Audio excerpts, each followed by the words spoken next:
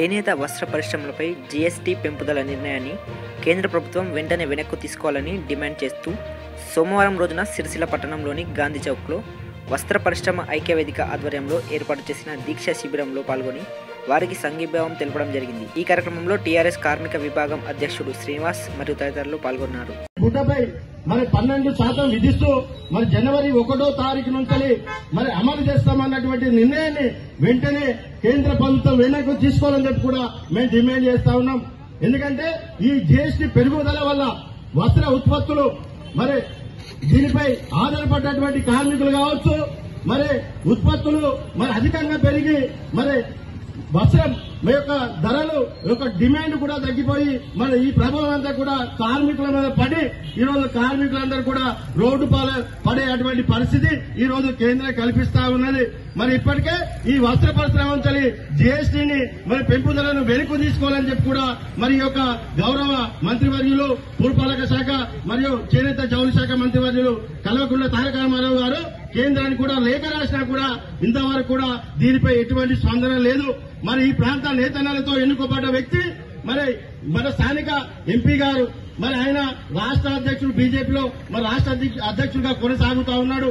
మరి జీఎస్టీ పెంపు వల్ల ఈ రోజు మరి సిరిసిల్లలో నేత కార్మికులు నష్టపోతారు. మరి యొక్క చేనేతకు ప్రయోజనాలు ప్రోత్సాహాలు అందించే పోయి మరి జీఎస్టీ పేరుతో మరి మరింత భారం మోపి ఈ యొక్క పరిశ్రమను మరి రోడ్డు పాలు చేసి యొక్క మనుగడ మరి లేకుండా చేయడం అనేది నిజంగా సిగ్గుచెట్టు ఇప్పటికే ఇప్పుడిప్పుడే మన వస్త్ర పరిశ్రమ మన కోరుకుంటున్నటువంటి పరిశ్రమలో మన మునిగే నక్కపై తాటిపడ్డ తాటిపండు పడ్డ చందంగా మళ్ళీ ఈ జీఎస్టీ విధించడం వెంటనే వెనక్కి తీసుకోవాలని చెప్పి కూడా మేము అందరం డిమాండ్ చేస్తా ఉన్నాం. రెండు వేల పదిహేడులో జరిగినటువంటి జీఎస్టీ కౌన్సిల్ సమావేశంలో మన వస్త్ర పరిశ్రమలు జీఎస్టీ మినహాయించాలని చెప్పి మరి ఏదైతే నిర్ణయం తీసుకున్నారో ఆ నిర్ణయం ప్రకారం ఇప్పుడు జీఎస్టీ నుంచి ఐ- ప్రస్తుతం ఐదు శాతం కాదు మొత్తానికే జీఎస్టీ నుంచి వస్త్ర పరిశ్రమను మినహాయించాలని చెప్పి కూడా మేము డిమాండ్ చేస్తా ఉన్నాం. మరి రెండు వేల పదిహేడులో మరి చేనేత దినోత్సవం సందర్భంగా మోడీ గారు చేనేతకు చేతునిస్తామని చెప్పడం జరిగింది.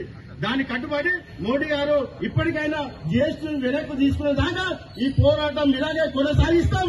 జాతీయ స్థాయిలో అవసరం ఉంటే పెద్ద పెద్ద ఎత్తున ఆందోళన కార్యక్రమాలు చేస్తామని చెప్పి కూడా ఈ సందర్భంగా తెలుస్తూ మరి ఈ ప్రాంత బీజేపీ ఎంపీలు మాతో కలిసి వస్తారా? లేకపోతే మీరే స్పందించి మీ ప్రభుత్వమే పోరాటం చేస్తారా? మరి తెలుసుకోవాల్సిన అవసరం ఉందని చెప్పి కూడా ఈ సందర్భంగా తెలియజేస్తూ వెంటనే జీఎస్టీ వెనక్కి చేసుకోవాలని చెప్పి డిమాండ్ చేస్తా ఉన్నా. మళ్ళీ గతంలో గతంలో సమైక్య రాష్ట్రంలో జరిగినటువంటి ఆకలి చావులు ఆత్మహత్యలు మళ్ళా పునరావృతం అవుతాయని చెప్పి కూడా తెలిసి కూడా ఈ ప్రాంత ఎంపీ ఇంతవరకు కూడా కేంద్రాన్ని కానీ మన లేఖ రాసినటువంటి పాపాన పోలే. కనీసం దీనిపై స్పందించినటువంటి పాపన పోలే. ఇప్పటికైనా మీరు కేంద్ర ప్రభుత్వంపై మే మోడీ గారికి లేఖ రాసి ఈ యొక్క జీఎస్టీ పైన ఈ ప్రాంత బీజేపీ ఎంపీలు పోరాడతారా?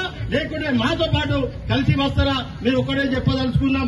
ఇప్పటికే మన తెలంగాణ రాష్ట్రం ఏర్పడిన తర్వాత సిరిసిల్లాలో ఉన్నటువంటి నేతన్నల ఆకలి చావులు ఆపాలి ఆత్మహత్యలు ఆపాలని చెప్పి కూడా మరి రాష్ట్రం ఏర్పడంగా వీరికి మొట్టమొదటిసారిగా మరి చేనేత కార్మికుల వ్యక్తిగత రుణాలు మాఫీ చేసినటువంటి ఘనత ఈ రోజు కేంద్ర తెలంగాణ ప్రభుత్వానికి అదేవిధంగా చేనేత మిత్ర కావచ్చు నా యాభై నలభై శాతం సబ్సిడీ కావచ్చు పావలా వడ్డీ రుణాలు కావచ్చు మరి అనేక రాయితీలు ఇస్తూ ఈ రోజు చేనేత పరిశ్రమకు చేతున చేతులు అందిస్తున్నటువంటి ప్రభుత్వం తెలంగాణ ప్రభుత్వం మరి ఇప్పటికే రెండు సంవత్సరాల పాటు కరోనా నేపథ్యంలో ఈ రోజు వస్త్ర పరిశ్రమ అంతా కూడా మనుగడ ప్రశ్నార్థకంగా మారుతుంటే ఈ పరిశ్రమను కాపాడాల్సినటువంటి మోడీ ప్రభుత్వం మరి యొక్క చేనేతకు ప్రయోజనాలు ప్రోత్సాహాలు అందించే పోయి మరి జీఎస్టీ పేరుతో మరి మరింత భారం మోపి ఈ యొక్క పరిశ్రమను మరి రోడ్డు పాలు చేసి ఈ యొక్క మనుగడ మరి లేకుండా చేయడం అనేది నిజంగా సిగ్గుచెట్టు ఇప్పటికే ఇప్పుడిప్పుడే మరి వస్త్ర పరిశ్రమ